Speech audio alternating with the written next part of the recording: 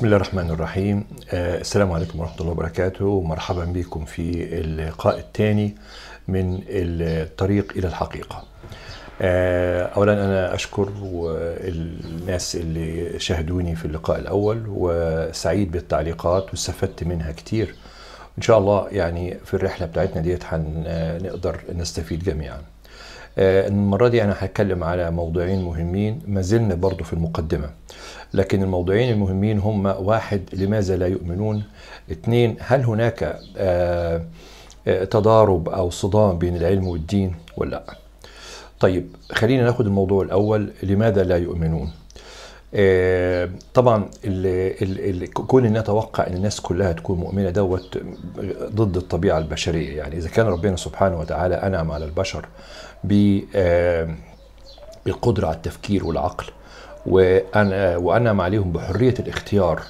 فلا شك لا شك إن في ناس هتروح يمين وناس هتروح شمال.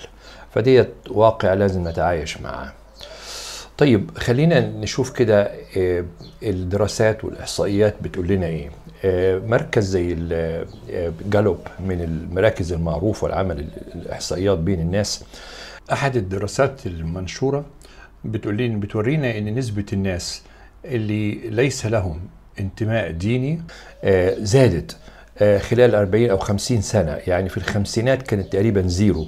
ثم آه، تزايدت إلى حد وصلت لحوالي 16% في 2008 طبعا بعد كده ربما زادت لا شك 100% زادت بس مش بنسبة كبيرة.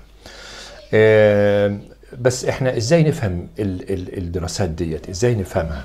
لازم نكون يعني آه، اولا مفيش إحصائيات آه، 100% سليمة. لابد فيها ديفكت بيعتمد على بعض الأمور. لكن خلينا أقول الاتي يعني لما نقول والله إن آه، تقريبا آه، 84% من الناس لهم انتماء ديني مش معنى كده إنه كلهم آه، مؤمنين مؤمنين بالخلق وإن في آه، آه، حساب وفي يوم آخر وفي جنة وفي نار وكتب ورسل. لا بعضهم لا شك كده. لكن في نسبة كبيرة منهم بيقولوا والله إحنا آه، مؤمنين بإن في خالق بس ما نرجع بموضوع الرسل ولا الكتب ديت. وآخرين يقولوا والله ال- ال- الخالق دوت خلق الكون وبعدين تركه للقوانين ما- ملوش دعوة بيه بعد كده.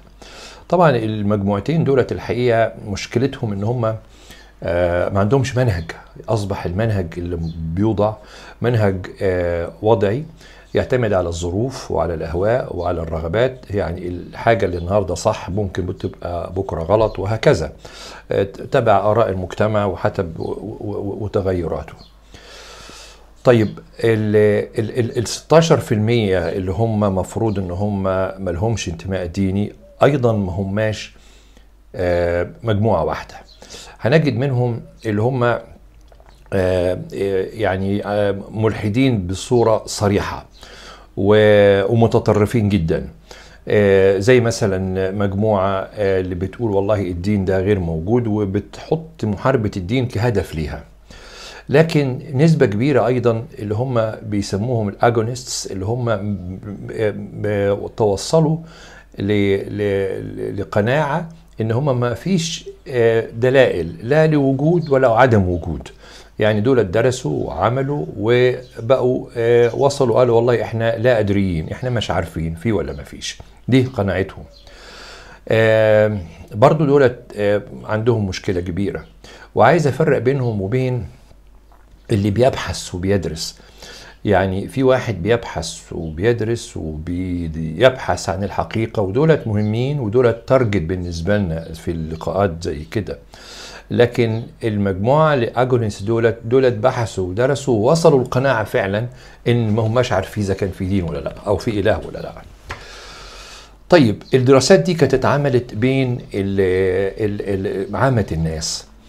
لما ننتقل لدراسات مماثلة اتعملت بين العلماء آه، الحقيقة النتيجة يعني محبطة شويتين لأن بتجد إن تقريبا آه، نسبة آه، 60% من ال physicist و80% من ال biologist آه، آه، بيقولوا ما فيش إله صراحة يعني يعني صراحة ما فيش إله وده شيء مزعج جدا و... لكن لما نفكر كده هنجد إن في أسباب إيه هي الأسباب؟ آه، اولا الناس ديت بقالها تقريبا ما يقرب من قرن أو أكتر. آه، جميع آه، تعليمها أو تعليمها أو دراستها وتربيتها من بدايه ال- المدارس الأولى حتى ما بعد الجامعة نظرية التطور المادية. يعني دي ال ال ال ال النظرية المعتمدة في التعليم. ولا يوجد ذكر لخلق أو غيره. بالتالي بتطلع أجيال ورا أجيال آه، ما بتعرفش تنح... تفكر خارج هذا الإطار. آه، دي نقطة. النقطة الثانية في مراكز العلم ومراكز البحثية آه، قاعدة مهمة جدا.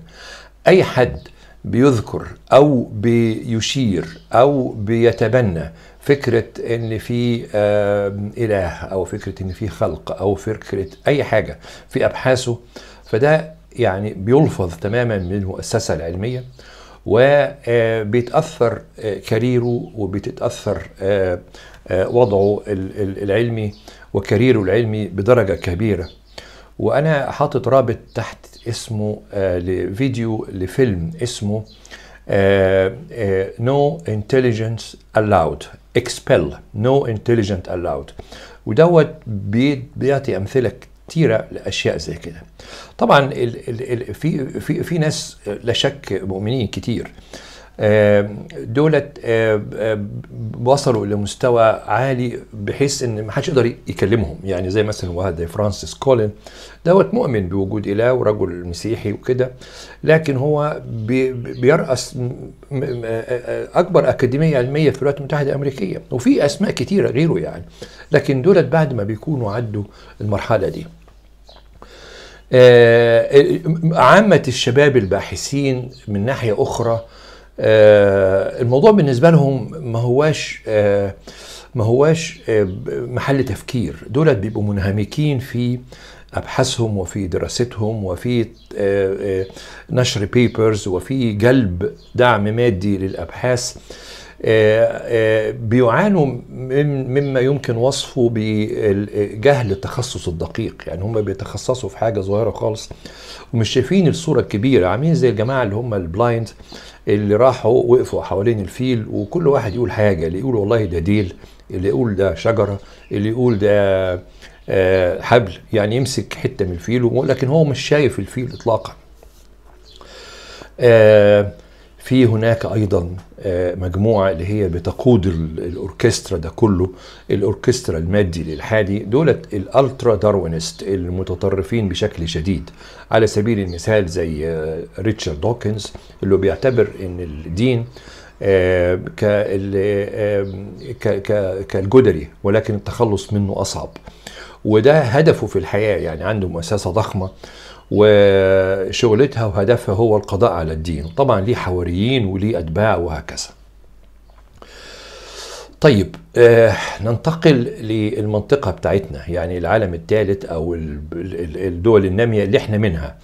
هل الدول ديت إحنا ما عندناش إحصائيات ما عندناش إحصائيات للأسف لكن المعروف من بوضوح آه، لناس كتير إن نسبة الابتعاد عن الدين والإلحاد متزايدة. آه، ال- الفرق بيننا وبينهم تقريبا إن إحنا الحقيقة معظم الناس اللي أو الشباب اللي بيمشوا في هذا الطريق بيبقوا مقلدين. يعني يعني ما- اطلعوش على الحقائق ولا قرأوا التطورات العلمية وليه الناس دي بتقول ما فيش إله. إنما هم مقلدين ومتأثرين بالتقدم ال- الرهيب في العلم. وبما يشاهدوه من دوكيومنتريز ومن آه، أفلام معدة إعداد قوي جدا. فده قضية آه، لماذا لا يؤمنون؟ ننتقل بقى للموضوع الآخر وهو آه، هل يوجد آه، تعارض بين العلم والدين أو صدام عشان نجاوب السؤال ده خلينا نرجع شوية لورا نشوف التاريخ ونمرة واحد. نمرة اتنين برضو ن- نسأل سؤال هل يضع الدين أي حكر على التفكير البشري؟ بالنسبة لموضوع التاريخ الحقيقة لما بنستعرض التاريخ بنجد أن الفطرة كانت دايما أبدا بتقول إن لابد الإنسان يلجأ إلى وجود خالق أو إلى قوة عليا. جماعة اليونانيين والأغريقيين كان دايما عندهم آلهة لأي حاجة للمطر للبرق للرعد وهكذا. طبعا الحضارة الإسلامية في عصرها الذهبي آه تقريبا من القرن الثامن للقرن ال 14 أو ال 15 كانت مبنية على أساس إن الله سبحانه وتعالى هو الخالق وهو الحي وهو القيوم على وجود الكون بما فيه. الحضارة النهضة الأوروبية الحديثة حقيقة نشأت على أكتاف رجال زي كوبرنيكوس وجاليليو ونيوتن وكانوا مؤمنين وكانوا هدفهم هو البحث في كيف وضع الله القوانين التي تدير الكون وكيف نظمها. وكانوا على درجة كبيرة جدا من القناعة بهذا. يعني ما كانش في حد اطلاقا غالبا الاغلبيه العظمى منهم بتحيد عن هذا التفكير. طيب السؤال طب إمتى حصل المشكلة؟ المشكلة الحقيقة بدأت تحدث تدريجيا بسبب إن الكنيسة تبنت أفكار أغريقية خاطئة على إنها جزء من اللاهوت الكنسي واللي كان بيعارض هذه الأفكار كان بيعتبر بيعمل هرطقه ويعاقب وأحيانا يحكم عليه بالقتل أو السجن أو غيره. على سبيل المثال إن هم يقولوا والله الأرض هي مركز الكون وكانوا متمسكين بذلك إلى درجة كبيرة جدا. وأشياء أخرى كثيرة يعني. وما بدا العلم يبين إن الموضوع مش كده وإن الأرض ليست مركز الكون وإن الأرض عمرها أو الكون ملايين السنين ما هماش كذا ألف سنة زي ما كانوا الكنيسة متمسكة بهذا الأمر. بدأ يحدث انشقاق وبدأ العلم ياخذ منحى مبتعدا عن الكنيسة. الانشقاق ده بدأ يتزايد تدريجيا لكن النقطة الفاصلة كانت في عام 1859 بعد أن أصدر تشارلز داروين كتابه أصل الأنواع. الكتاب أو الفكرة أصل الأنواع أو التطور نظرية التطور اللي بعد كده سميت بنظرية التطور نظرية مادية بحتة. بتقول والله إحنا مش محتاجين لإله لأن إحنا دلوقتي نقدر نفسر كيف بدأ الخلق ونقدر نفسر بصورة مادية كيف حدث التنوع في المخلوقات اللي هي ظهرت على مدى على مدى التاريخ اللي إحنا شايفينها دلوقتي الأشجار والطيور والزهور والدنيا دي كلها. كل ده حصل ماديا بصورة عشوائية وملوش دعوة يعني لا داعي لوجود خالق. العالم اللي هم خايفين من الرجوع للكنيسة اللي هم كانوا بدأوا بقى في الإلحاد وبدأ الإلحاد ياخد مجراه تمسكوا بهذه النظرة الفلسفية بداية وحولوها إلى توب إلى نظرة علمية وتدريجيا أصبحت عقيدة يعني لا يسمح ولا تقبل المناقشة. يتطور حصل حصل. آه عايز تناقش تناقش في كيف حدث لكن ما تناقشش في إن هو ما حصلش. ديت غير قابلة للنقاش. وأصبح فعلا عقيدة دينية دلوقتي. وهنشوف بعدين الكلام دوت. آه وهكذا آه حدثت المشكلة بتاعه الانفصام بين الدين وبين العلم.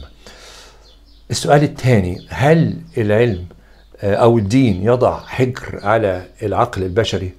الحقيقة يعني من ال من ال من المؤسف إن إحنا أو من الخطأ الكبير إن إحنا نتخيل هذا. لا يوجد دين ولا يمكن أن يوجد دين يضع أي نوع من الحكر على العقل البشري. مش معقول ربنا سبحانه وتعالى يدينا القدرة على التفكير وبعدين يمنعنا منها. أو إن هو يخاف سبحانه وتعالى إن إحنا مثلا نسطو على الكون من دونه. كلام غير عقلاني يعني إذا تصورنا هذا.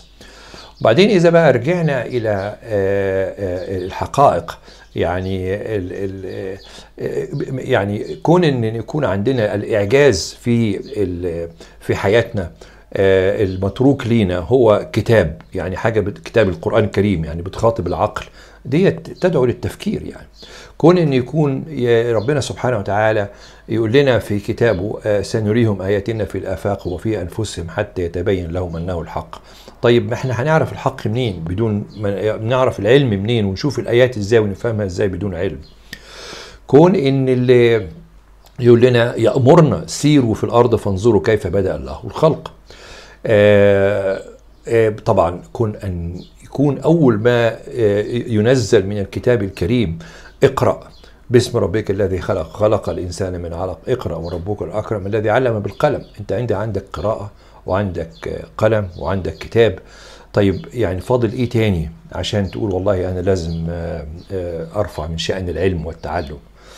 آه، الحقيقة آه، ال- ده الفهم اللي فهمه كثير من العقلاء من آه، رجال الدين. على سبيل المثال لو آه، أحب اقرا لكم الجزئية اللي آه، قالها آه، في جاءت في كتاب آه، الأستاذ محمد فريد وجدي المتوفي تقريبا في خمسينات القرن الماضي لأنها الحقيقة مهمة. بيقول في كتابه الآتي لو عد ما جاء في القرآن من قوله تعالى أفلا تعقلون؟ أفلا يتفكرون؟ أفلا تذكرون؟ الأخ لتعدت العشرات.